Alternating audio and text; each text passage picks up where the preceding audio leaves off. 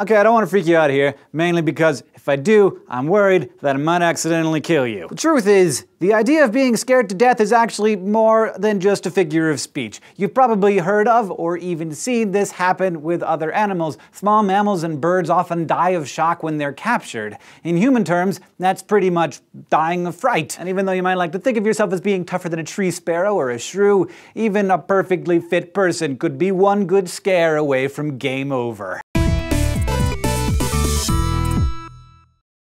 Martin A. Samuels, the chair of neurology at Boston's Brigham and Women's Hospital, has collected hundreds of reports of totally healthy people dying from pure fright. Kids on extreme amusement park rides, victims of break-ins and muggings, and folks in what would have been completely non-fatal car accidents. Rates of mysterious heart failures have been found to rise during sudden traumatic events like earthquakes and riots. And in 2010, a student in India actually died of shock after watching a series of scary movies. This fear-induced death is actually a kind of sudden heart failure called stress cardiomyopathy cardiomyopathy. Say you just have the ever-living boo scared out of you by a house fire, or a cobra in your underwear drawer, or a masked man with a gun.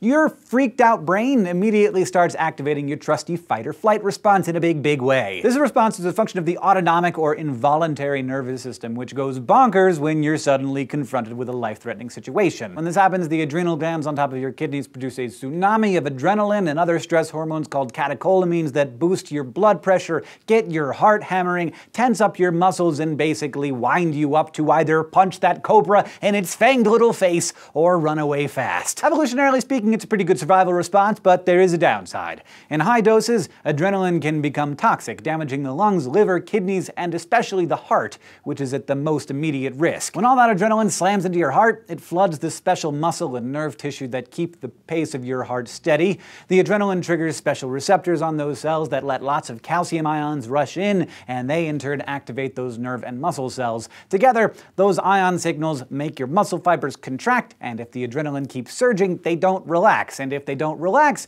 your heart can't regain the steady rhythm it needs to survive. This erratic, fear-induced heart rhythm is called ventricular fibrillation. It basically causes the lower chambers of your heart to vibrate in a way that interferes with the pumping of blood throughout your body. All of that offbeat contracting can sometimes actually distort the shape of the heart, too, ballooning it out in certain areas and collapsing it in others. The Japanese physicians who first identified this condition apparently thought those poor misshapen hearts looked like traditional Japanese octopus traps, so they named the condition Takotsubo syndrome after those urn-like devices, but some Westerners know the condition by the more romantic name of broken heart syndrome. If a person is already at risk for a heart attack, a sudden intense fear reaction can also give them a classic heart attack. When this happens, all that adrenaline basically serves to destabilize the sticky plaque that's in the arteries, causing them to become fully blocked. Researchers are starting to look into how a history history of anxiety and possible genetic variations might contribute to how your heart responds to an adrenaline bomb, but right now, doctors don't know how to tell who might be more vulnerable to sudden death by fear. Until then, just remember, while you certainly don't want to live in fear of dying of fear, you may want to think twice about scaring your grandpa too badly. Thank you for watching this episode of SciShow, and extra special thanks to our Subbable subscribers. You can find us on Facebook and Twitter and down in the comments below.